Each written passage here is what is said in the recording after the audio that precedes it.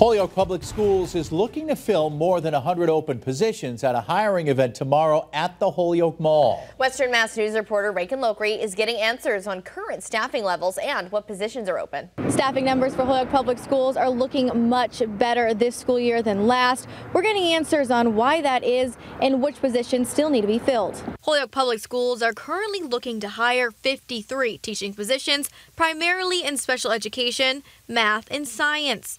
32 paraeducator positions, primarily serving students with high and severe needs, as well as 51 other positions in a variety of job classes, primarily based in schools or in central supply.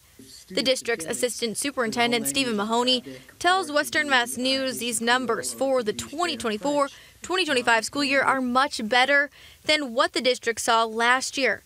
Mahoney explains that's because the district has since instituted incentives such as professional development, as well as more support for teachers in the classroom. He says this has helped to boost their numbers. However, he feels switching their focus to retention rather than just recruitment has really made the difference. We put in a considerable effort to understanding uh, teacher retention and how we could uh, increase teacher retention. Um, I think that that that effort to understand and then uh, the plans and the systems that we put in place to support teacher retention had an impact um, on uh, on our, our staffing numbers this year. Mahoney says another piece of the puzzle is how they have evolved from the COVID-19 pandemic. He explains that when they first were able to go back to the classroom, the main focus was getting students back on track academically.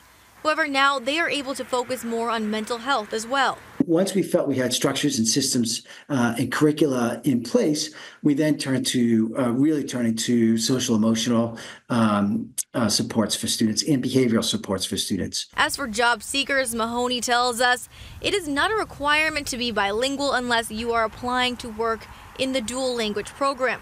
However, it is a plus when staff members are able to speak a multitude of languages, including Spanish, French, or Arabic.